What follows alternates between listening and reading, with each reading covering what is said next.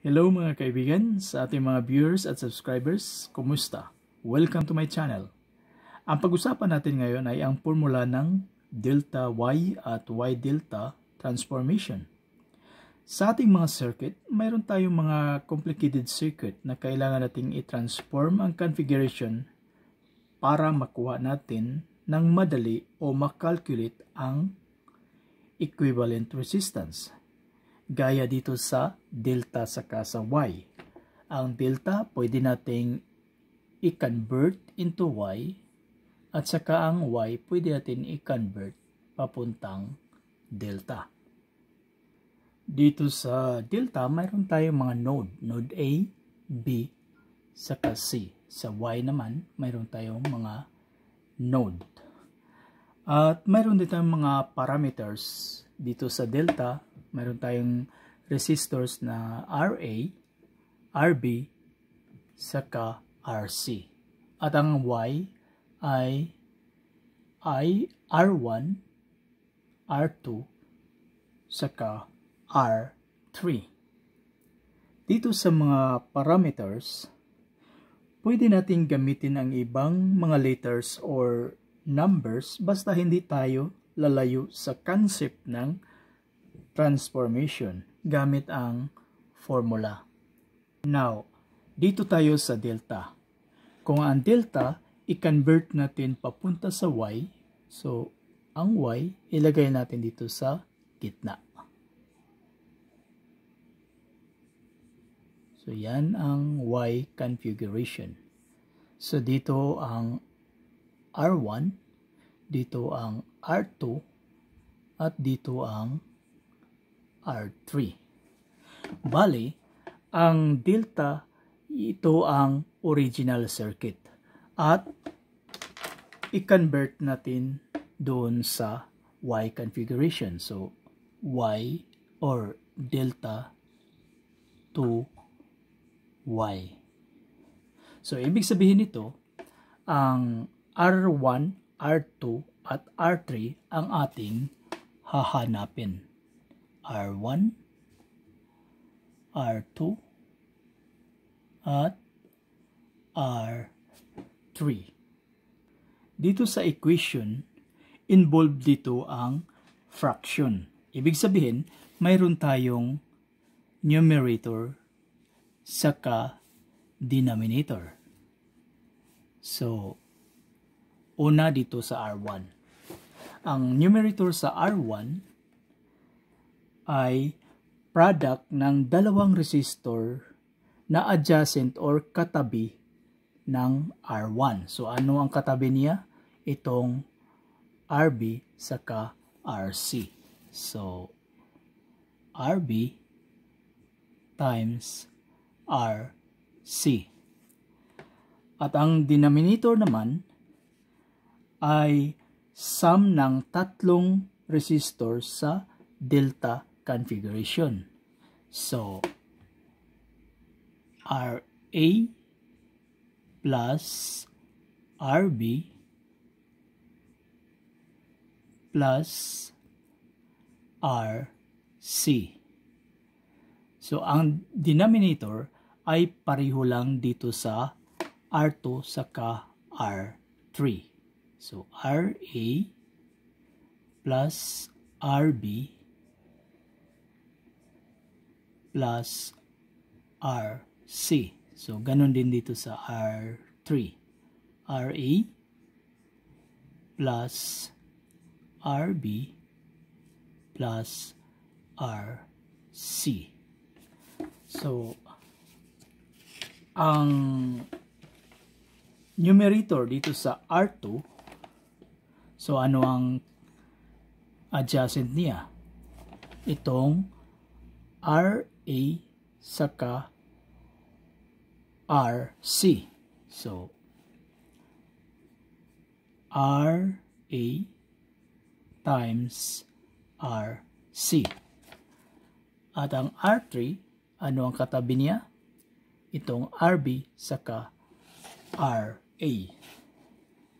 So, RA times RC. B.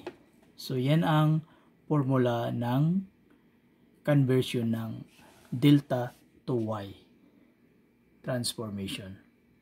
At dito naman tayo sa Y. Ang Y, i-convert natin into delta. So ilagay lang natin dito ang delta.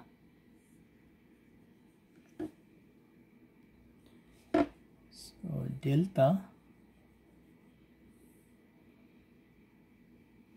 i-drawing lang natin dito sa labas. So, node A, connected dito sa node A. So, ito ang ating RC. Ito ang RA. At ito ang RB. So, dito naman, ang original circuit natin is Y configuration at kina-convert natin into delta configuration. So, ibig sabihin, ang hahanapin natin dito ay ang RA, RB, at saka RC. At ang equation niya, involved din dito ang fraction. So mayroong denominator at saka numerator. Ang RA, ang numerator niya is sum of product sa dalawang magkaparis na resistors. So, ganito ang formula. So,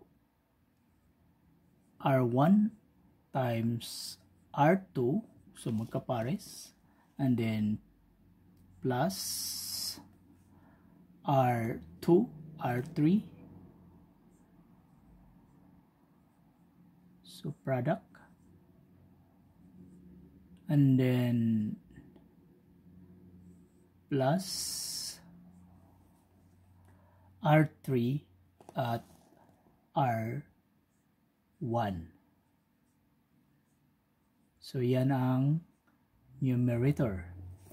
So, ang numerator dito sa RB sa RC, pareho lang din dito sa RE. So, R1 times R2 plus R2 times R3 plus R3 times R1.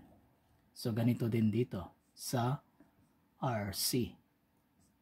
R1 times R2 plus R2 times R3 plus R3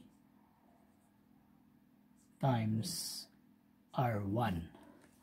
At ano ang denominator dito sa RA?